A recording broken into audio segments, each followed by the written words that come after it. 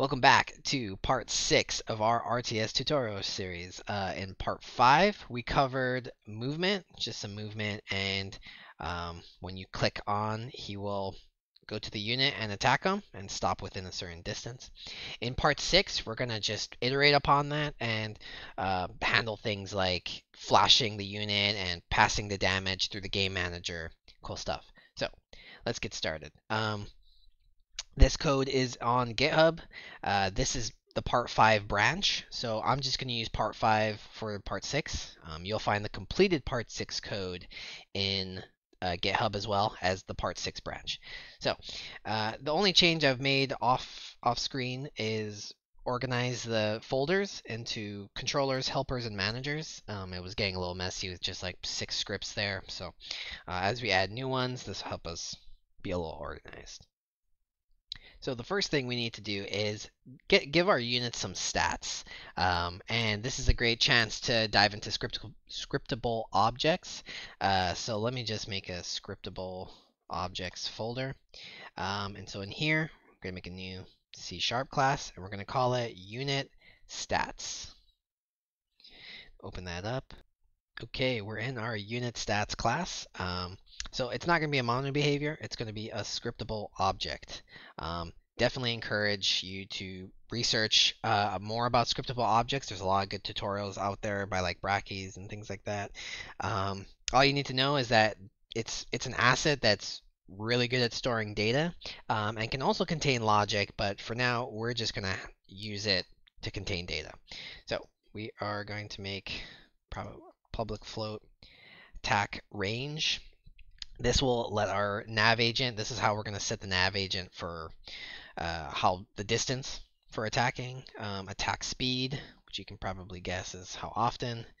Um, we'll probably want a health value. Uh, we won't use it in this tutorial, but we'll probably need it eventually. And we can always add this to this later, so we're probably good now.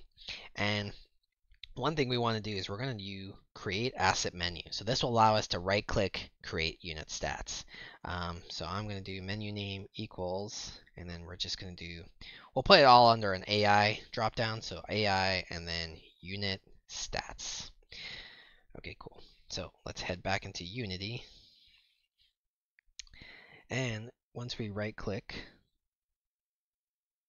create and we have this new AI over here and then we'll just do unit stats and um, let's say we're making warriors right now. So we'll do warrior stats.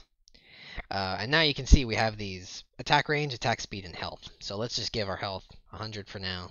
Attack speed uh, 2 and attack range we'll start at 5 and you'll want to make a scriptable object for each type of uh, each different kind of stats. So if you have an enemy warrior that has like different kind of stats, you have like a uh, maybe like a champion warrior, uh, and he'll have different stats. You'd make individual scriptable objects um, for each of those. Uh, and now we're going to work on consuming that. So we're actually going to go into our unit manager, sorry, unit controller. We're going to open that up, and we're going to have a public so that we can drop this in into the inspector. Uh, unit stats, and then we're just going to say unit stats. So now every every unit controller or anything that inherits from this can have its own type of stats, um, and that will allow it make you know any kind of hero you want and things like that. So. So now we can start consuming our unit stats. Um, so right now we currently have, if we if we have a target, keep chasing him. But we want at some point to stop chasing and start attacking. So what we're going to do is if uh, we're going to do a little vector math. So we're going to do we're going to get the distance uh, of the current target versus the position. So the position, the transform position minus the current target's transform. Well, I think the current target is already transformed. So we'll do position. Uh, and we can't just do this because uh, it will only work for one of like north, south, east, and west. So we want to get the magnitude, and that will give us a hard number distance, and then we can do this magnitude, and so this is the length of this vector. And that way, um, if they're coming from the top, the bottom, the left, or the right, we'll still have this same distance. And then we can check if distance is less than or equal to the unit stats attack range. So if they're if they're within their attack range, then we're going to call attack. And we'll go down here and we'll just set a public void attack. And to confirm everything's working, we're just going to run a super quick debug log. And then we'll have attacking. So let's switch back to Unity. And we'll probably have to tweak our units a little bit once it finishes loading. Um, so I know with these nav agents, we set the stopping distance 10, which is kind of a lot, and that's actually more than our warrior's attack range. So let's start with like a 3. Um, click apply so they all have that. And now we have this player unit controller and unit controller. So right now only the unit controller actually has the unit stats, but we don't want both of these controllers on. Um, so let's let's fix up the player unit controller real quick. Um, and it's just going to inherit from unit controller. And we'll just do this. So it will grab all the things. Right now, the player unit is not doing anything different from any other kind of unit. So we're not worried about that here. Um, but for right now, that's what we want. And we're going to tweak our objects really quickly. So now, remove the component, and the player unit component now has that unit stats automatically. Click apply. Um, the enemy unit is not a player unit, it is just a unit controller. I'll just apply like that. Okay, cool. Um, and so now we can apply this scriptable object. If we click in here, we have warrior stats, and we can just select that and click apply. And I think all of them will have it except for this one. Enemy doesn't really need stats right now, but we'll just throw it in there for now. Um, save on time. And now we can officially test. Okay, cool. So we go around here, and so when you right click here, when they get into range, it's attacking, and that's looking good, and it's going to continually attack. So the next thing we want to do is attack speed, which is actually relatively quick. So we'll go into the unit controller, and we will, we actually want to keep track of when the last attack was. So we're going to make a private float called attack timer. You can name this cooldown timer or whatever works within your game. Uh, and in the start, we're going to set the attack timer equal to the unit stats attack speed.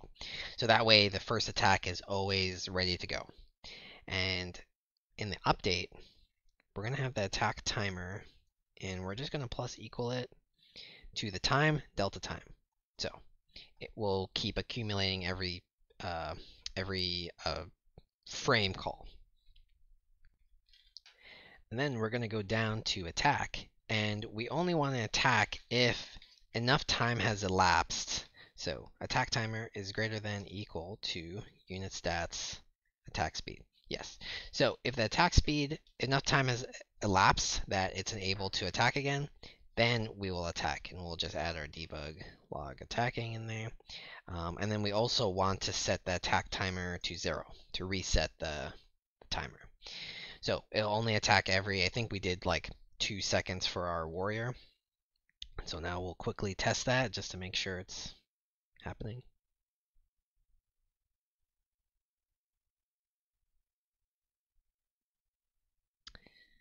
Okay, so I'll right click here, and attacking, and then 34, 36. So, or I guess every, uh, yeah, two seconds. So that's going good, um, and that's working fine.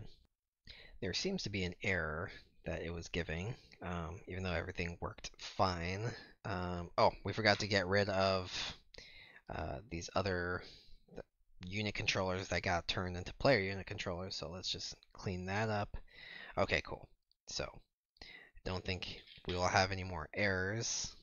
Let's just confirm. Yeah, okay, good. Okay, cool. So I think the last thing I wanted to cover in this video, um, before I start, the next videos will most likely be like UI having a nice little bar up here and, and decrementing the health, is um, just showing uh, flashing just having them flash when they get attacked, so it's a little bit more visual. So let's go into the code. And um, instead of handling when we attack, instead of just sending that attack thing to the current target, um, we want to set up like a game manager that handles that attacking, and that way you can. Um, the reason why we want to do it in a game manager is makes it easy to um, offload into the server, add your um, cheat engines if you do it into um, if you're doing uh, multiplayer and, and, things like that. So we're going to make a RTS game manager and generally you want your name game manager. I believe if you just do game manager it'll show up as like a it'll override the base Unity game manager. Um, don't know what that is but for now we'll just call this. So in this RTS game manager we actually don't want any of this all we want is we want to keep it mono behavior for now. Um, if it turns out you don't need this and it's just going to be events or things like that, then that's fine. But uh, we don't need start. And we're just going to have one method in here called, uh, I think, public void unit take damage. And it's going to take two unit controllers. So it's going to take the attack attacking controller and another controller, and that's the attacked controller. And you can name this whatever you want to make sense in your game. Uh, so this is where you're going to handle all the damage calculations and armor calculations and whatever you need to do that. But for now, all we're going to do is damage is the attacking controllers. Um, I think we, I don't think we actually put a damage in the unit controller's stats. So, uh, well, for now, we'll just do unit stats and then damage, even though it's not there. Um, we'll just do attack damage. And then we'll jump into unit stats real quick, and then we'll name. We'll keep it nice and alphabetical. We'll do public float attack damage. Um, there we go. Uh, so now we have, now every stat has their own damage, and we'll go into the game manager, and that's looking good. And all we'll do is, for the attacked controller, we will send the event, and each game is going to be different, depending on how your multiplayer is set up, or how your game is set up. For now, we're just going to send the attack damage that it took some damage. So we'll say take damage, and we'll send in the damage for now. And we'll probably want to say send in the attacked controller so they know who attacked them, if that matters for your game. For now, we'll do that, and then we will go into the unit controller and create our take damage method. So public void take damage, and I think we took a enemy, and we will have a float damage. Okay, cool. Oops. So I'm actually going to cheat a little bit and paste in this little snippet that I wrote. Um, all it does is it just iterates twice um, and flashes the gray with the default color. So it looks like it's like doing a nice little flashing.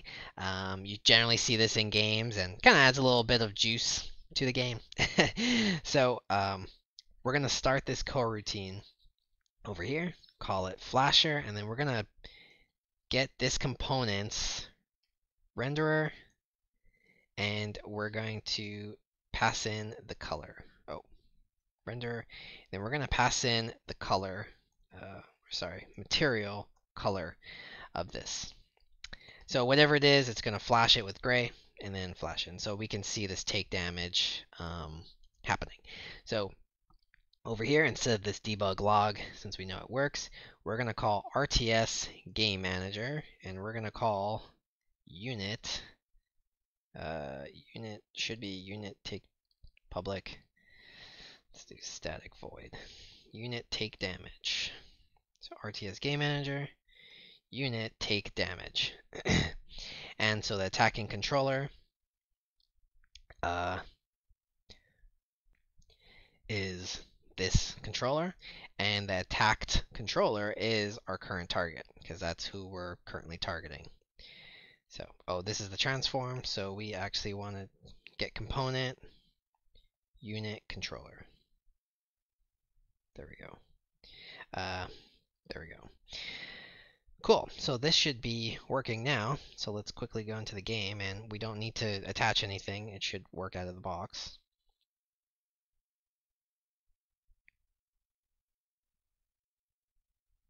And we'll click our guy and right click here and he's going to go and when he attacks the purple is flashing. And that's looking good. Uh, he's still kind of slamming into the guy, but um, we can deal with that uh, pretty easily later. I think that's just upping the stopping distance a little bit. Um, so, cool. Uh, hopefully you liked this video. We covered flashing and handling damage transfer. So now we can easily, in the next video, we can easily just go, you know, set our damage and allow health decrementing and things like that, which I think we'll handle in the next video. Uh, so thank you for watching. Hopefully you guys subscribe to my channel. Uh, I like making these videos and hopefully you like them too. So see you in the next video.